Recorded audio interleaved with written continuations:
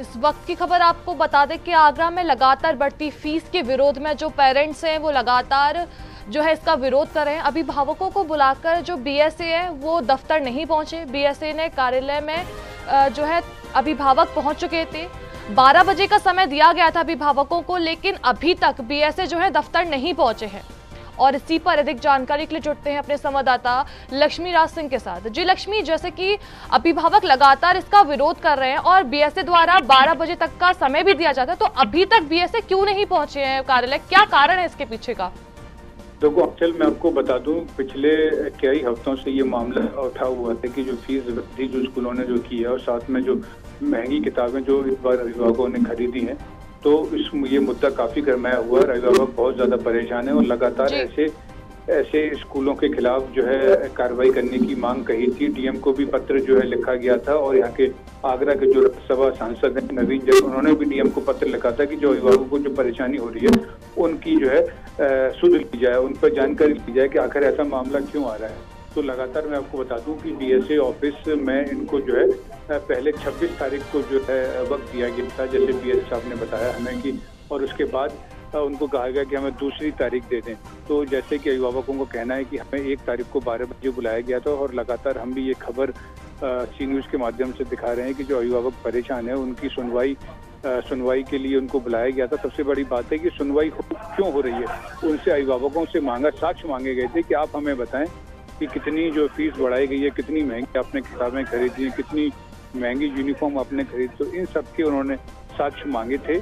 तो उसके उसको लेकर आज ये जब यहाँ पहुँचे तो मालूम पड़ा कि जो बीच से जो महोदय हैं, वो यहाँ पर आज उपलब्ध नहीं है। किसी जो सरकारी काम होने की वजह से उनको ज़िले से जो है बाहर जाना पड़ा है।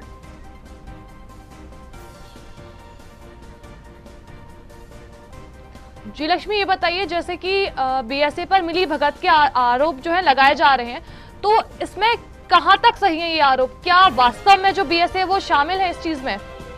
देखो आंचल ये इसमें कोई दोहराए नहीं है कि बीएसए की हम तो पूरे शिक्षा विभाग की बात कर सकते हैं, हम पर्टिकुलर किसी एक आदमी को चिन्हित नहीं कर सकते, क्योंकि जो जो कि एक शिक्षा विभाग पूरा इसमें इन्वॉल्व है, कहीं ना कहीं जब तरह की जब मांगे जब उठती हैं, जब हर साल फ़ीस वृद्धि होती है जब आपको एक नियम के नियम के अनुसार बताया जाता है कि जो है कि आपको जो है फ़ीस आपको स्कूल की बढ़ानी है तो पहले बीएसए को अवगत कराना होगा। तो इन्होंने बिना शिक्षा विभाग को बताए फ़ीस कैसे बढ़ा ली और जो किताबें जो महँगी मिल रही हैं, वो ऐसे किस आधार पे मिल रही हैं? क्योंकि जो किताबें जो बाज़ार में जो बेची जा रही हैं, उसका कोई पक्का बिल भी अभिभावकों को नहीं दिया जा रहा है। ये सबसे बड़ी समस्या है। और यूनिफॉर्म और सबसे बड़ी जो मिली भगत, जो स्कूल वालों की सबसे बड़ी जो मिली भगत, हम कह सकते हैं इसमें कि वो स्कूल वाले बताते हैं कि आपको किस बुक सेलर से या बुक स्टोर से आपको जो है किताबें यूनिफॉर्म तो ये जूते तक आपको खरीदने तो उनके लिए एक पर्टिकुलर शॉप्स बताई हुई हैं। हर स्कूल वाले का एक अलग वेंडर है।